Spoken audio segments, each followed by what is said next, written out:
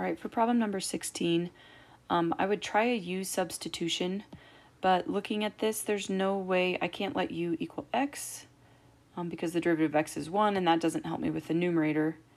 And if I let the numerator be u, so x squared plus 1, and I take the derivative of that, I do get 2x, but the problem is I don't get over x. I don't get 1 over x, so u substitution isn't going to work. So the only thing I can do with this one is to do a long division process.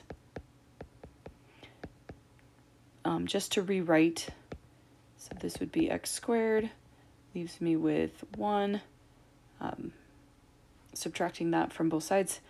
So, since x doesn't go into 1, this integral really becomes the integral from 1 to e of x plus 1 over x dx.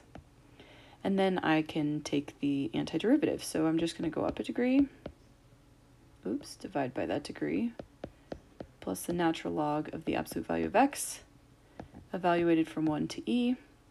So we would get e squared over 2 plus the natural log of the absolute value of e minus 1 squared over 2 plus the natural log of the absolute value of 1. Um, the natural log of e, that's one of the properties that we talked about the other day, so that would just be 1.